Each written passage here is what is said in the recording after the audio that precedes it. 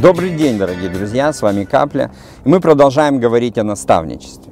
Еще один э, камень в огород наставничества, еще один такой пазл, это первое послание Коринфянам, 4 глава, 15 стих. Апостол Павел пишет, «Ибо хотя у вас тысячи наставников во Христе, но немного отцов, я родил вас во Христе Иисусе благовествованием. Посему умоляю вас, подражайте мне, как я Христу.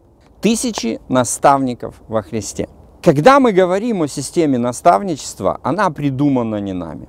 Она придумана Иисусом. Мы говорили об этом, что в 28 главе с 18 а, стиха Иисус говорит о том, что это суть великого поручения.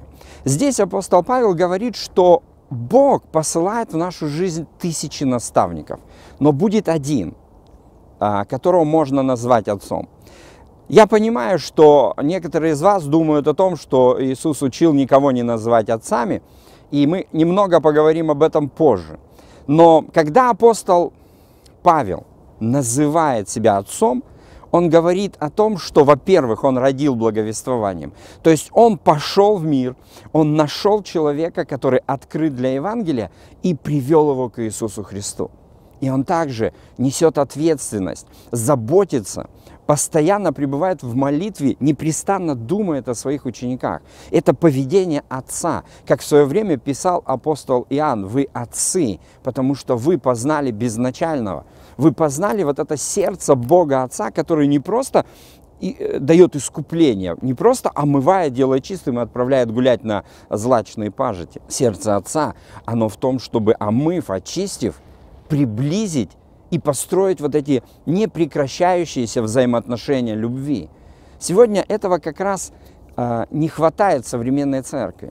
Сегодня мы приводим людей ко Христу. И, кстати, это не настолько уж большой процесс.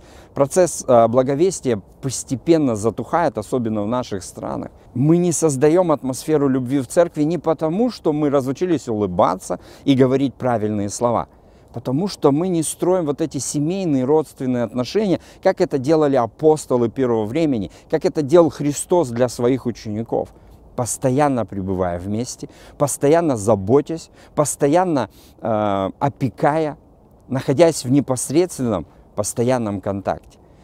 И это единственное, что не позволяет нам сегодня быть церковью умножающейся. Нам нужно быть, как апостол Павел, отцами. И, это сердце наставничества – не обучение, да, когда мы сажаем вокруг себя людей, как некий гуру, делимся своей сверхъестественной мудростью. А речь идет о сердце Отца, любящего и желающего самого лучшего для своих детей.